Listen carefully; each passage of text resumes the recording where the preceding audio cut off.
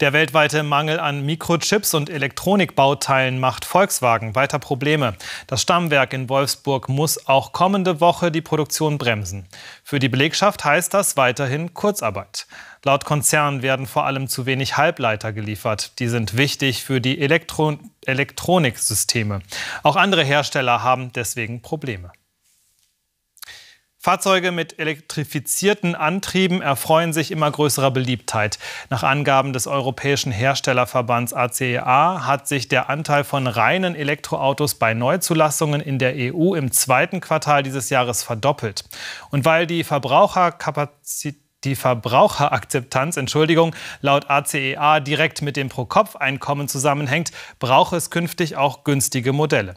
Ein Unternehmen in Itzehoe in Schleswig-Holstein hat einen erschwinglichen Elektrobus entwickelt, der zu 98 Prozent recycelbar sein soll.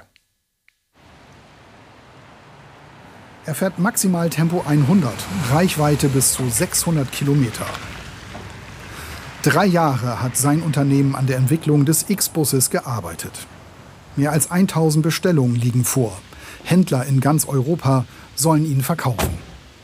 Wir müssen weg, dass wir immer größer, schwerer, schneller in den Fahrzeugen werden, sondern wir müssen den Verbrauch der Fahrzeuge reduzieren. Und da spielt die Leichtfahrzeugklasse eine ganz entscheidende Rolle. Der Leichtbus wiegt 600 Kilogramm. Der Besitzer kann den Bus in einen Lieferwagen umbauen, so das Konzept.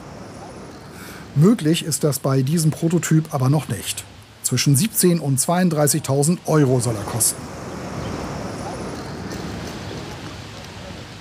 Ab kommenden Sommer soll der Elektrobus hier in Serienproduktion gehen. An der FH Westküste beschäftigt man sich auch mit der Mobilität der Zukunft. Jeder redet heute von Elektrifizierung des Antriebs. Jeder redet von dem Digitalisierungskonzept. Jeder redet jetzt vom autonomen Fahren.